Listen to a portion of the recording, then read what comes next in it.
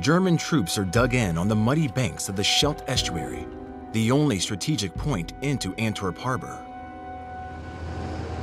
In fact, for all the talk of victory, the Allies' initial attempts to invade Germany fail. In September, they fight a bloody, drawn-out battle in the dense woodland of Hurtgen Forest.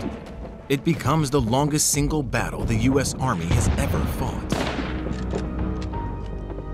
There are more than 33,000 casualties. It's been three months of near continuous fighting since D-Day.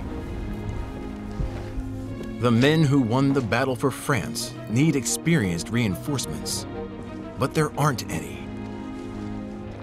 Four days after landing in Europe, the 106th Infantry Division is already filmed heading to the front line. The vast majority have no combat experience. Among them is college student turned GI, Kurt Vonnegut. He enlisted as an artillery mechanic. But the Army needs foot soldiers. There were not only college kids, but people who had been let out of jail, given the opportunity to make their country proud of them instead of ashamed. And we didn't know how bad it was or what it was like on the front.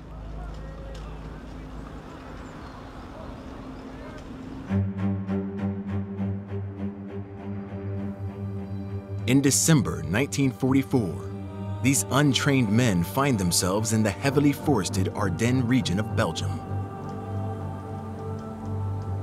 One of just three divisions covering 80 miles on the southern front.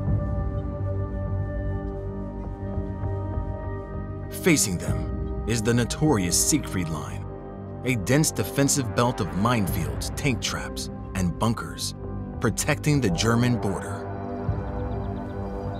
The sector is so quiet that GIs call it the Ghost Front.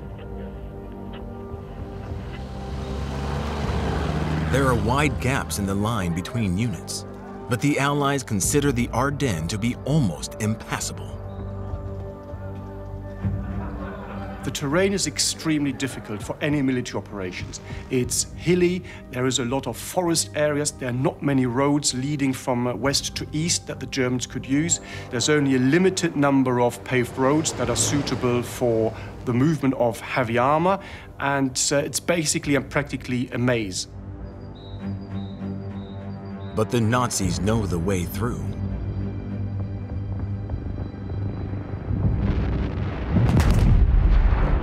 Four years earlier, the Germans launched a massive attack right through this same forest. Now Hitler wants to do it again and drive a wedge between the Allies.